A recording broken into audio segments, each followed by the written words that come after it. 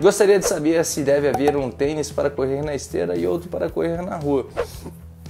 Nicola, não necessariamente, não há necessidade não.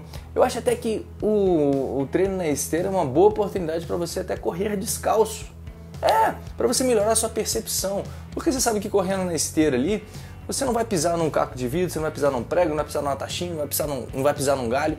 E você pode ir treinando o seu movimento, a percepção de contato do seu pé com o solo. E um chão que é mais macio do que o asfalto. Então você tem uma absorção do impacto um pouco melhorada, você vai melhorando a sua percepção da sua corrida, percepção do contato do seu pé com o chão.